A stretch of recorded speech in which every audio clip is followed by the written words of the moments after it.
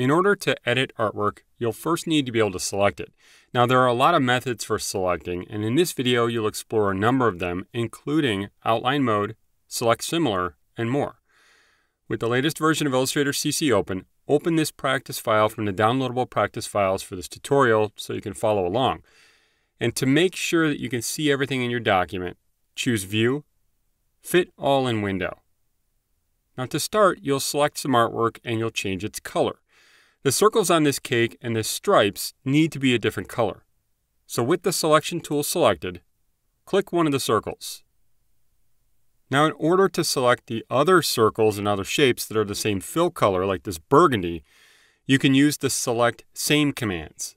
To do that, choose select, same, and you can see a number of options here for selecting similar artwork. Choose fill color. All objects with that same fill color are now selected, even these shapes.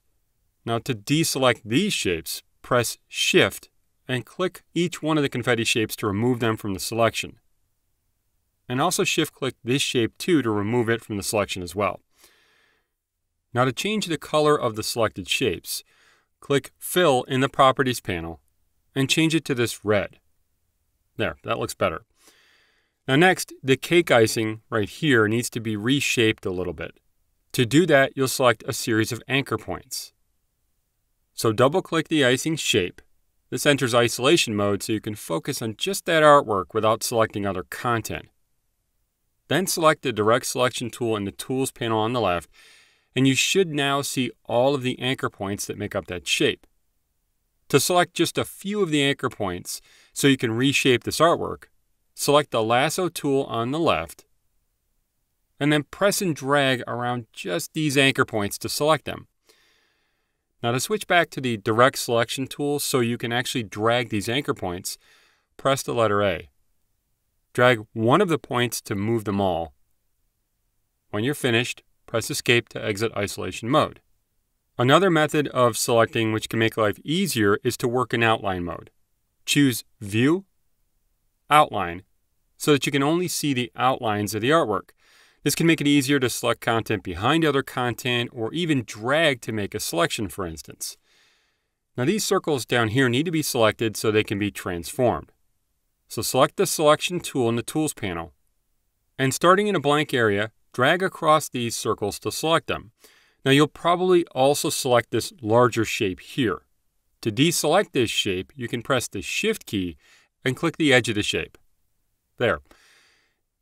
So that you can see the color fills again, choose View, GPU Preview. Now to resize these circles, press the Shift key to resize them proportionally, and drag a corner to make them a little bit larger to fill the space better. Release the mouse button, and then the key. To deselect them, click in a blank area. Now another way to make selections is by using the Layers panel on the right. Next, you'll select one of the candles at the top of the cake and change its size. So with the selection tool selected, click to select the center candle on the cake. Now to see where it is in the Layers panel, click the Layers panel tab to show it. Then click the Locate Object button at the bottom of the panel. This actually reveals the selected artwork in the Layers panel. You can see that it's a group of objects. Now you may want to drag the left edge of the Layers panel to the left so that you can see more of the names. To zoom into the candle on the artboard, press Command and plus on macOS or Control and plus on Windows several times.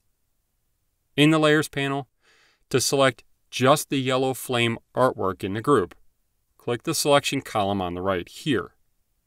With the flame selected, drag the top handle up so you can resize it. Okay, to deselect everything, choose Select, Deselect.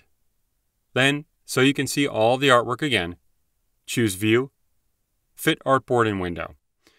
There really are a lot of tools and methods for selecting artwork in Illustrator, and the more ways to select that you know, the easier it'll be to edit artwork later on. You can save this practice file by choosing File, Save, and then close it.